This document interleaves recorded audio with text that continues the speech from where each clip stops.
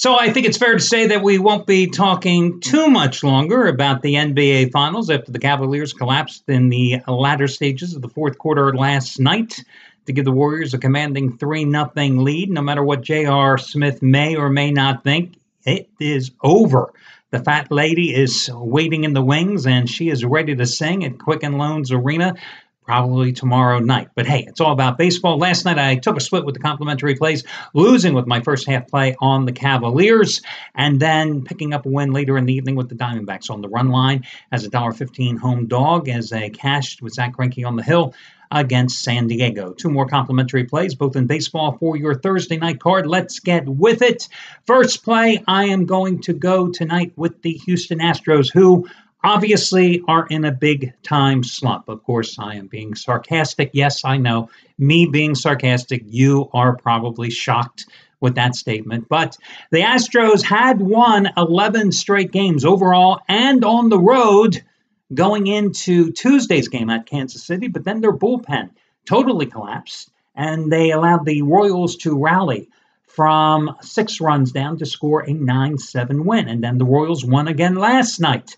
Well, can the Royals make it three in a row? Or will the Astros, who still have the Major League's best record at 41 and 28, and the Major League's best road record at 22 and 8, rebound tonight?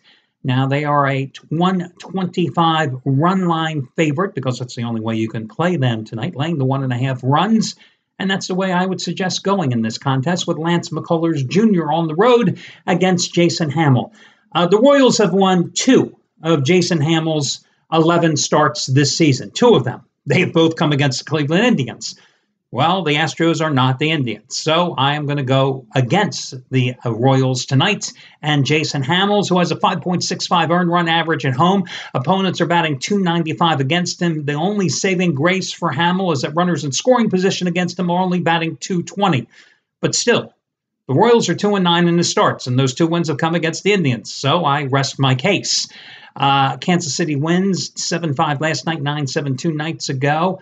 Again, the Astros going with Lance McCullers. Now, he has not pitched as well on the road as he has at home. And he did struggle a bit in his last start at Texas, although the Astros did win that game. He did not pitch that well. Four and a third innings, six hits, four runs, did have eight strikeouts, but did not come nearly as close to pitching well as he did in the month of May when in six starts he earned American League Pitcher of the Month honors when he went 4-0 with a 0.99 earned run average, but I'm willing to take the Astros to bounce back from their consecutive losses in this one. Uh, the Cubbies tonight are entertaining the Colorado Rockies at home. You know, the Rockies, FYI, are 21 and 10 on the road. They've won four straight coming into this game. Jon Lester hooking up with Tyler Chatwood. No, Tyler Chatwood, if I'm a major league general manager, I'm looking at guys that maybe could bolster my pitching staff. I'm looking at Tyler Chatwood and going, maybe I got to get Ch- Tyler Chatwood because he's not doing the Rockies any good. Because this is a guy who is proven for one reason or another, maybe it's mental, psychological, whatever, he cannot pitch in Denver. He cannot pitch at Coors Field. The numbers bear fruit and prove me to be right on this point because in six road starts this year, he has a 2.68 earned run average. At six home starts this year, has a 7.03 earned run average. Last year, eight and one with a 1.69 earned run average in 13 road starts. In 14 home starts last year in the thin air of Denver, four and nine record and a 6.12 ERA. So if I'm a general manager out there and I'm looking to bolster my pitching staff, I'm calling the Rockies and going, hey, listen, you got a pitcher that is only good for half of his starts because he's proven he can't pitch for you at home. You might as well trade him to me, right? Hey, I'm just saying, and I'm right. So Tyler Chatwood has pitched well on the road.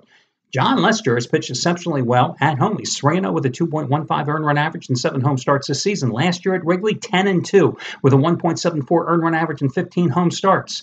Cubbies just had their winning streak snap last night at home with a 6 5 loss to the Marlins after winning the first two games in the series. They've been playing exceptionally well at home. I'm looking at this game. Why not take the under in this contest? Again, Lester, strong home pitching, Chatwood, strong road pitching. I like the under. Cubs and Rockies under for your second complimentary play to go along with the Astros on the run line. Those are your two free plays for Thursday's card. Wish you well, guys, and I'll talk to you again tomorrow when we do this one more time.